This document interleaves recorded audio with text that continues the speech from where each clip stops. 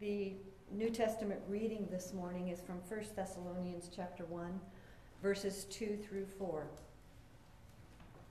We always give thanks to God for all of you and mention you in our prayers constantly, remembering before our God and Father your work of faith and labor of love and steadfastness of hope in our Lord Jesus Christ. For we know, brothers and sisters, beloved by God, that he has chosen you. This is the word of God for us this day.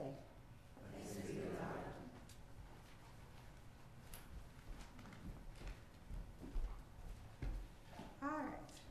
So his son had asked me a while back to uh, speak today. It, today's Laity Sunday, uh, and then also she said, let's make it a UMW Sunday. So I thought, okay.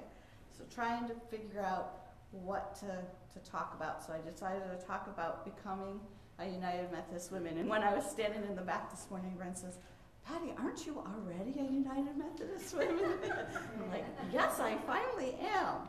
So I'm going to start off talking a little bit about my personal history through United Methodist Women, and then I'm going to talk about United Methodist Women as a whole. So I grew up in the Methodist Church and always wanted to be a United Methodist woman. My mom was a United Methodist woman. One of the earliest memories I have is going to a meeting with my mom. It was at somebody's house and they had like a nursery upstairs set up and I was playing trucks with this other little boy who ended up, we grew up in the church together when you know, we were the same age. But I just remember that. And then I remember when I was in elementary school, my mom always talking about her circle meeting. She had circle. She had to go to circle. And I thought that had to be probably one of the coolest places to go. Given that I was in school in the late 60s, early 70s when we were all in a row and we never got, if we got to sit in a circle, it was like big time. So she must be going and having really fun if she's going to circle time all the time. So I, I just thought, well, that's really neat. Then when I was, I think I must have been in middle school age, what we called junior high then, the UMW gave out scholarships to go to camps, but it's not wasn't just any camp. They specifically picked girls in the congregation, two or three girls in the congregation, to go to a camp called Reach Out Camp, and it was United Methodist Camp. It was on a United Methodist College campus called Mount Union College, which is in Ohio, um, I, and they picked me to go. And it was a blessing because my family did not have money to go to camp. I could have never been able to go. And then I got to go on a college campus. That was my first experience of seeing what a college campus was like and staying in the dorms. And the reach out camp, what it was, was teenagers, girls and boys, um, probably a couple hundred, that got together for the week. One of the days, they sent us out into the community to do work we, I remember going to like a preschool and being with the kids and stuff. There were all kinds of different things that they would do, really beginning to teach us the foundations of Methodism and what it means to serve. And then the rest of the time we had little studies and lots of singing and just got to eat in the college cafeteria. And I ended up going three years. They paid for me to go. And each year when we came back, we would do a little presentation then for the United Methodist Women. And then I found out about Circle Time wasn't as cool as I thought. but anyway, um, we did presentations to United Methodist Women, and United Methodist Women, you know, really supported me um, and, and, helped me grow at, at a time in life where a person could go lots of different ways. That was a great place to focus on every summer. And United Methodist Women also uh, were big supporters of our youth group that we went on mission trips starting when I was about 16 or so, we went on mission trips to different, um, Appalachia was the main place we went. Uh, I graduated from high school, went to college, had some years where really didn't go to church a whole lot, maybe made guest appearance with my parents once in a while. Um, got married, moved out here. Uh, a year or two after we moved out here, started coming to Brentwood and decided to join the church. And at that time, um, Ellen Rowan did the classes for us. And at the last class, she said, okay, so now we've talked about what the church can do for you. What are you going to do for the church? And I said, well, I want to be United Methodist Women. so he's like, great, next week or in the next couple weeks, they're having a salad luncheon. And back then, the salad luncheon was on a Wednesday during the week. Lots of people from Liberty came over. It was a big deal, and they needed people to work. So I helped out with the, the salad luncheon. And I was busy. I was going to graduate school at the time, and I was working and didn't really have time for circle meetings. Uh, and Billy Fortner, bless her heart, she um, supported me by buying me a subscription to the Response magazine and World Outlook. And that was really my connection to United Methodist Women for a while. Once in a while, I would go to a circle meeting that was in the evening, but really didn't um, go very often. Then I had my children, and when I was pregnant with my second child, I was on bed rest for a couple months, and United Methodist Women brought me dinner every week. It was just, we have no family here. It was just my husband and I, and I had Amy, who was about a year old, and I was pregnant. And I remember Billy calling saying, How can we help? And I said, Well, you know, the day I had to go to the doctor every week. And the day I go to the doctor, it's really hard for my husband to cook dinner and get me to the doctor and all that kind of stuff. So that, that day, I was always had we always had a hot meal from United Methodist Women. And my, my husband, who does not come to church, he, he really noted that. He says, you know, our friends, they were nice, but it was the United Methodist Women who fed us. And in many ways, they fed us. I was just I, we're in the middle of packing and getting ready to move, and I was going through and I found, for some reason, I'm a saver, and I had every card since before my child was born up until five years, which they're now gone, but I was finding cards that people in the church had sent me when I was on bed rest, and it was just like, oh, they really did feed us, not just with food. Um, for a while when my kids were little, I could go to circle meetings. We actually just started doing some Saturday circle meetings. We were, you know, going pretty good with United Methodist Women, and then and I felt like I was really becoming a United Methodist woman. And then my kids started playing competitive soccer and swimming, and that takes up a lot of time, and it takes up a woman's extra time that they might have to go to a circle meeting. And so for a while, I wasn't going. I was still getting my response magazine, but I, I wasn't going. And then uh, my kids grew up. Well, actually, for a while, they didn't need me as much, so I could. I was going to the Tuesday morning because I was working part time, and I was going to Tuesday morning circle for a while and getting re-involved in, under the leadership of Charlene, really watching United Methodist Women do a lot um, in, in our church and, and ignite a lot in our church. And then I started working full time and couldn't go Tuesday mornings, so we restarted a uh, evening circle. Back in the day, this church had three circles, so we're up to two now. And I have to say, I feel really feel now that I am a United Methodist woman. I, it took a long time, but yes, I, I am um, one. So what I want to talk about now is a little bit about the history of United Methodist Women and what United Methodist Women are doing today. And I have a video. Hopefully I can get it up.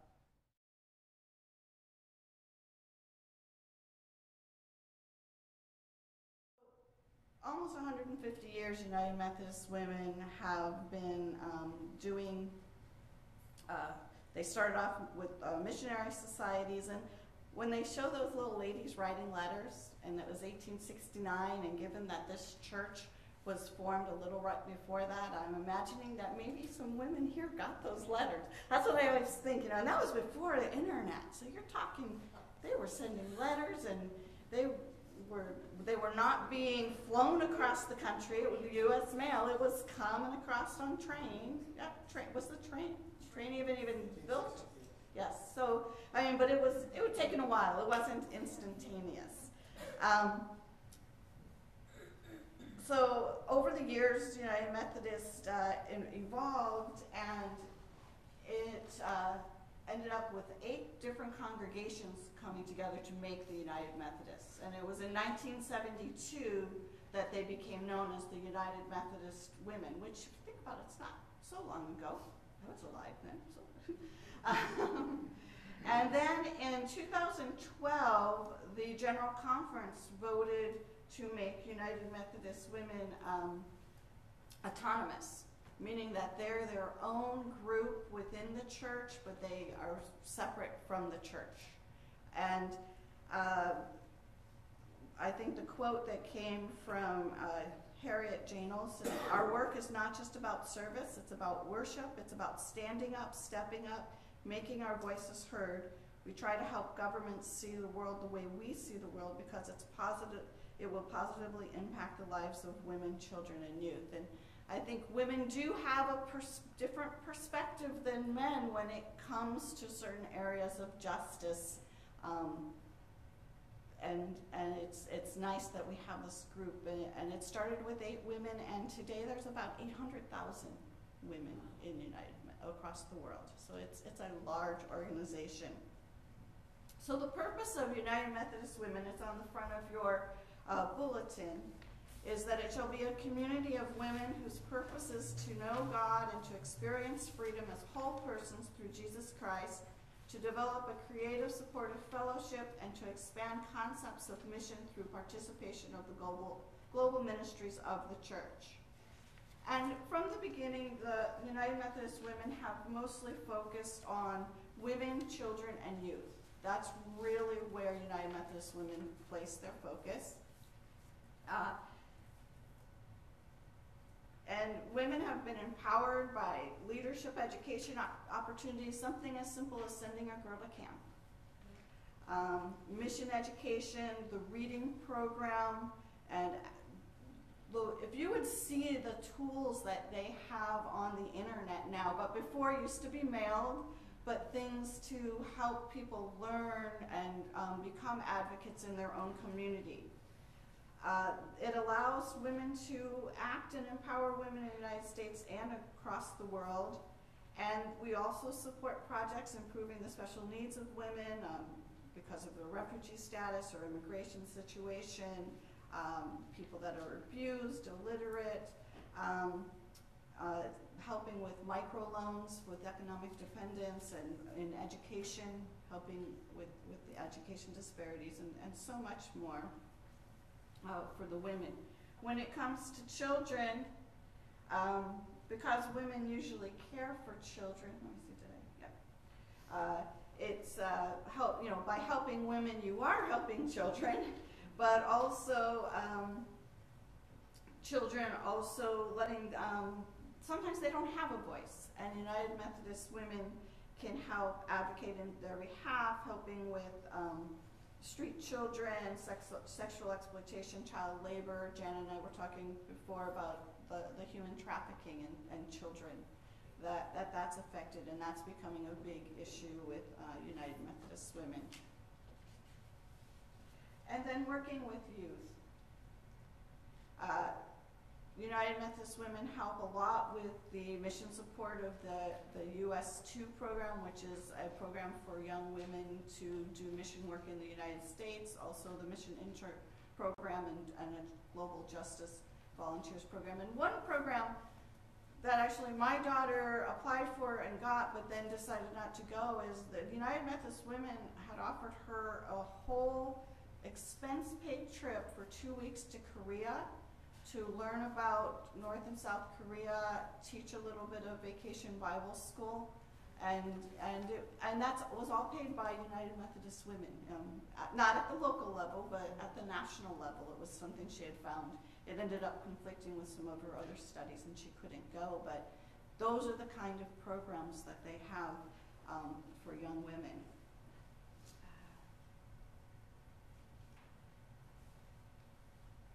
So they work for justice through service and ad advocacy. And um, beginning in 2016, these are the four areas that are going to be the main focus. Because if you just say that, you get overwhelmed. So they've drilled it down. So climate justice and giving stewardship that provides sustainability, maternal and child health, life-saving access and education that promotes well-being, racial, gender, and justice, protecting women and families by ending criminalization of people of color, and economic inequality. Inequality is always a woman's issue. Uh, next, I'm going to have Roxana come. She had the wonderful opportunity yesterday to attend the California Nevada Conference United Methodist Women's annual celebration, and she called me last night excited about things she had heard. So I said, "Why don't you go ahead and share for a couple minutes?" Sung's thinking, oh, she's always excited. and I am. Uh, so, my report. Um, our theme this year, Legacy Women Planting Seeds for Christ. Our scripture reference was Luke 8 15. But the seed on good soil stands for those with an honest and good heart. They hear the message, they keep it in their hearts, they remain faithful and produce a good crop. We installed new conference officers. We approved our 2016 budget. We celebrated the mission work done by the local units and our four districts um, for the California Nevada Conference. We applauded the women meeting the challenge of our reading program, which was brought to us uh, by the Evangelical United Brethren Church when our churches merged. That was something that their women's group had, and they brought that um, into the United Methodist Women's. Um, locally, we are very proud of Sister Patti, who committed to um, completing Plan 1 of our reading program, and she did it. that was a big commitment.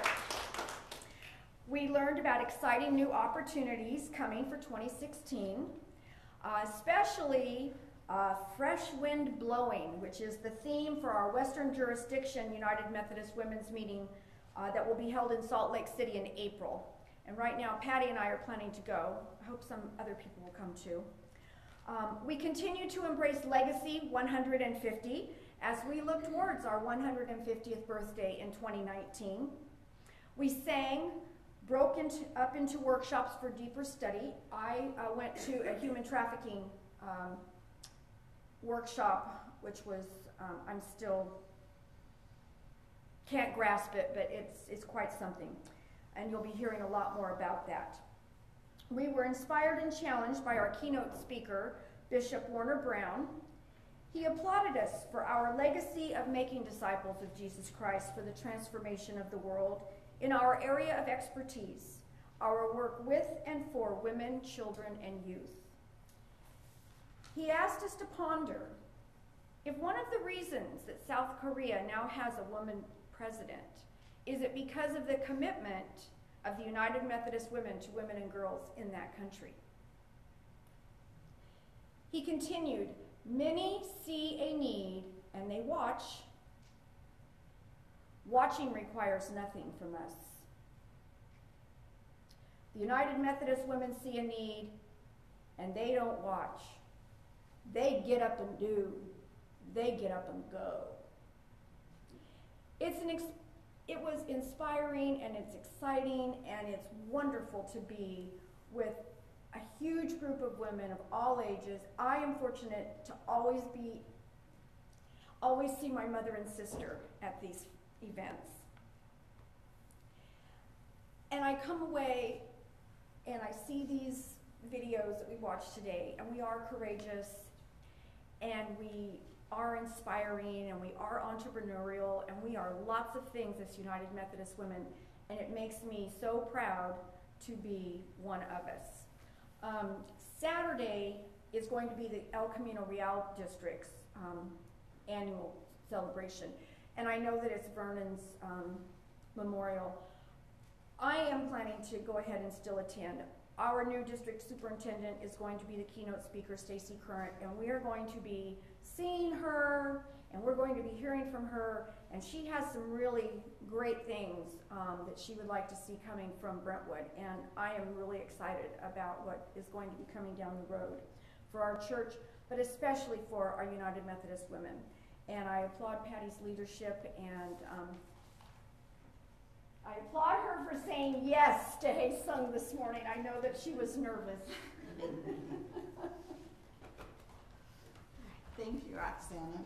So what do we do locally? And I, I there's an insert that I put together um, that you can see, but one of the things is we raise money for missions. And our United Methodist Women has made over three thousand dollars, um, and, and has been able to disperse three, over three thousand dollars. And some of the local ones are, are listed, um, they're uh, Hope House, the Congregational Care Network, youth activities, our, our VIM going to Guatemala, the Mercy Hall projects are supported the Jesse Lee Circle, that's their pet project, and they, they focus on those, um, the, all the projects within the Mercy Hall projects. Uh, we also give to the Gum Moon Home and the Mary Elizabeth Inn, which are two places, safe places for women to be, um, to, to go. And those have been there since the 1890s, I believe, is when uh, Mary Elizabeth Inn was started. Uh, last year, we, uh, Cheryl and um, we got to go to uh, Ubuntu and actually see the, the both places and, and what they're doing for women and how it's evolved over time. Before it was a place where if a young woman was coming to work in the city and needed a safe place to live, that's where she could go. Now it's um, a different type of housing. One is one is for uh, women who are abused, and another one is to get homeless women off the street. Um, we do our pledge to mission, helping with global projects, and uh, the United Methodist, uh, the Mercy Hall. Uh, one of our global projects is the Jacobs Well Water Project, where we help with water, which is such a simple thing, but such a vital thing. I think I just flipped through all those, so. Uh, we do mission, and so last night I was putting my slideshow together when Roxana called and I, I hadn't finished all the way. She called right when it was time to put, insert her. I said, I can insert you right here. But I was like, Roxana, all we do is raise money. It doesn't seem like we do anything else. And I was really feeling down. And then I started to think, no, what do we do? And we do mission studies and have programs. Uh, we have this year studied the Created for Happiness, Understanding Your Life, which is a program, United Methodist Women. It's a book. It has, you know, ways to lead the study. It's all there for us. And we've also um, studied poverty. Four times a year, our circles get together and um, have some study together. And we always do the call to prayer and self-denial and world thank offering where we learn about different things that are going on either in the United States or around the world that um, United Methodist Women help uh, uh, part, help, help uh, fund. We also attend the conference and district events. There's leadership training put on every year.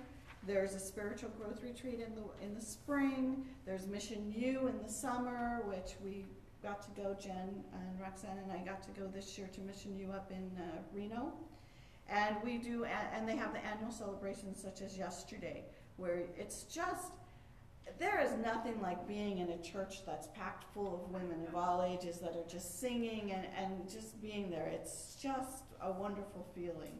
It makes you glad to be a United Methodist Women. We welcome all women in the church. There's not any special qualifications. If you're coming to church, you can come to United Methodist Women. And I, I do want to say, I, I send out emails for our circle meeting and, and that type of thing, and, and some of the, the moms are busy. There's, you know, people at a certain point in their life, they're busy, they can't come. And one of them sent, I'm sorry, I can't come to circle meeting, I have this going on. And I said, the greatest thing about United Methodist Women is that they're always enough women to keep it going that when it's time for you, it will be here. And it's been 150 years and it's there for women when it's time. And so sometimes you can't be, the most active you can be is reading the Response magazine, but you can still be a United Methodist Women and, and be a part of, of that group. The uh, Bible verse today, oops. Oh, I you know, there it is. The Bible verse today was, We give thanks to God always for all of you, making mention of you in our prayers, constantly bearing in mind your faith and labor of love and steadfastness of hope in our Lord Jesus Christ in the presence of our God and Father, knowing, brethren, beloved by God, his choice of you. Now I know that this wasn't written for United Methodist women or women in the church, but I don't think there are better words that, that could be said.